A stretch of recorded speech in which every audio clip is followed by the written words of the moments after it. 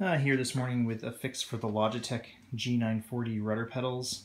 Uh, I've had these pedals for like seven years and they've always done this really annoying thing where right in the center of the rudder axis um, they would have like spikes and noise and they'd be they'd sometimes sit a little bit off center but generally the the worst of it was um, was the spiking that you'd see on the axis so you know you'd look back and check your six and your rudder would actually be fluttering in the wind it almost looked like um, and so there have been a few fixes reported around the internet there's a couple videos um, and what a lot of folks recommend doing is so these are the this is the bottom of the pedals I've taken the back plate off there are 19 I think um, Phillips screws that you can access from the back of the panel.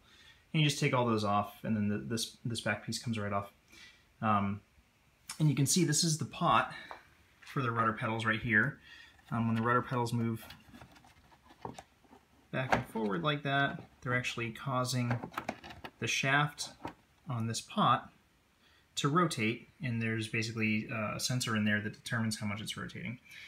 Um, what was going on here is this is basically just noise on the pot. And so what everybody has been recommending you do, and sure, go ahead and do this while you're in here, is to just tighten down these three connections with, uh, with needle nose pliers. And just give them a little squeeze. Be very careful not to bend them or, or twist them or anything like that. Um, they're very fragile. But what that actually, that didn't solve my problem I was still seeing the spikes. And so what I did is I actually just pulled the pot out. It comes right out of the shaft that's in there. And I just grabbed a hold of the, the actual shaft on the pot and twisted it back and forth a few times. Um, it actually has a, a, much larger range of motion than what it goes through when it's in the pedals. It actually goes probably another 90 degrees in each direction.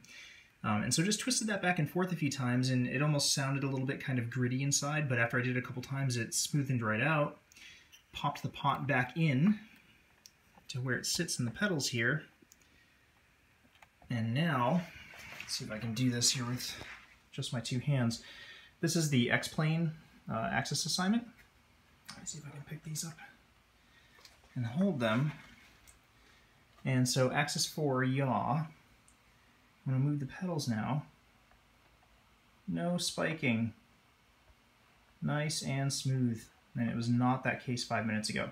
So in addition to tightening up those terminals, I highly recommend just pulling that pot out and giving it a few cranks before you reassemble the thing did the trick for me.